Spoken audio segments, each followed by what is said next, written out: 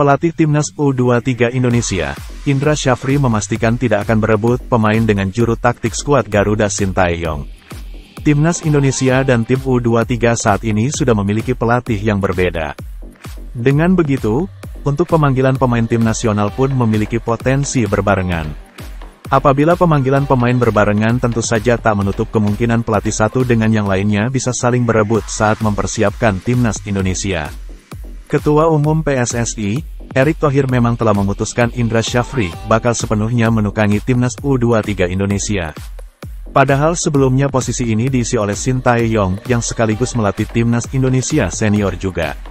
Akan tetapi, setelah Indra Syafri berhasil membawa timnas U22 Indonesia meraih gelar juara di SEA Games 2023, PSSI pun berubah pikiran dan Indra Syafri dipastikan akan menjadi juru taktik timnas U23 Indonesia di berbagai event dari Asian Games 2022 hingga kualifikasi Piala Asia U23 2024. Setelah penunjukan itu, Erick Thohir memastikan Shin Tae-yong sepenuhnya akan fokus ke timnas Indonesia.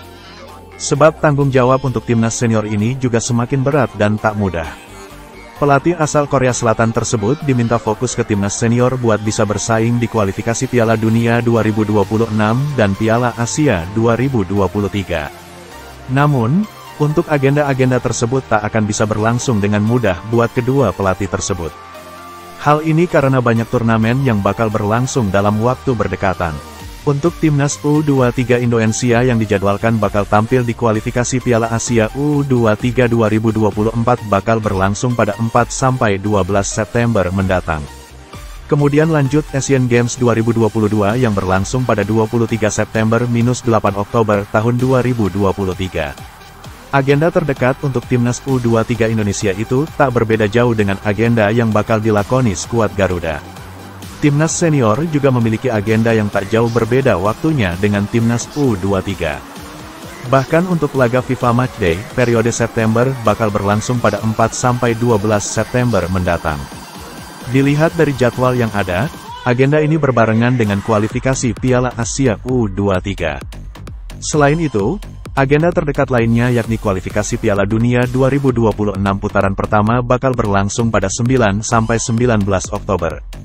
Kemudian Piala Asia 2023 dijadwalkan berlangsung pada 12 Januari-10 Februari tahun 2024. Melihat jadwal yang ada tentu saja tak sedikit agenda yang bentrok antara timnas Indonesia dan kelompok usia U23 ini. Situasi ini bahkan bisa saja membuat kedua pelatih menggelar persiapan tim secara bersamaan. Tentu saja hal ini banyak dikhawatirkan oleh pecinta sepak bola Indonesia. Sebab dikhawatirkan bakal ada perebutan pemain timnas nantinya karena event yang bakal digelar mepet. Menanggapi ini, Indra Syafri menjelaskan bahwa apa yang dikhawatirkan orang-orang tersebut tak akan terjadi. Pelatih asal Sumatera Barat itu mengaku bahwa komunikasinya dengan Sintayong sudah berjalan dengan baik sejak awal. Bahkan terkait pemanggilan pemain juga dipastikan tak ada masalah. Itu nanti gampang, kan saya dengan Coach Sin tidak ada masalah, ujar Indra Syafri kepada awak media termasuk bolasport.com di kawasan GBK, Senayan, Jakarta, Jumat, tanggal 19 Mei tahun 2023. Indra Syafri memastikan terkait pemanggilan pemain, agar tidak ada masalah kuncinya pasti dikomunikasi. Menurutnya, Sintayong juga sudah berkomunikasi dengannya, terkait memanggil beberapa pemain untuk FIFA Matchday periode Juni mendatang. Indra membeberkan ada beberapa pemain timnas U22 Indonesia yang dipanggil untuk tampil membela skuad Garuda nantinya pada FIFA Matchday. Kami bisa diskusi. Coach sudah telepon lewat JJ, penerjemah Shin Taeyong, menyampaikan nama-nama yang akan dipanggil di FIFA Matchday, kata Indra.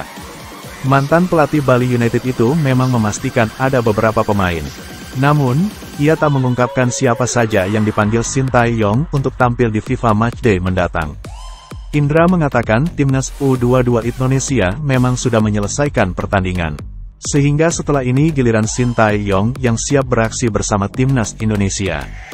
Sebab FIFA Matchday periode Juni ini direncanakan berlangsung pada 12-20 Juni mendatang. Timnas Indonesia direncanakan bakal menjalani dua pertandingan.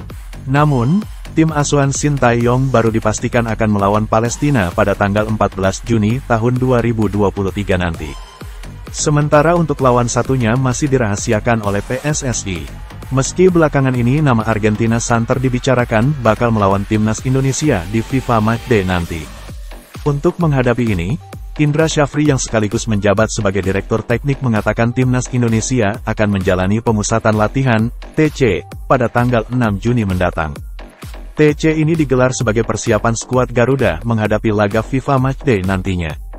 Saya juga sudah lapor ke Pak Ketum PSSI sebagai Direktur Teknik, nanti tanggal 6 Juni akan ada rencana TC, tuturnya.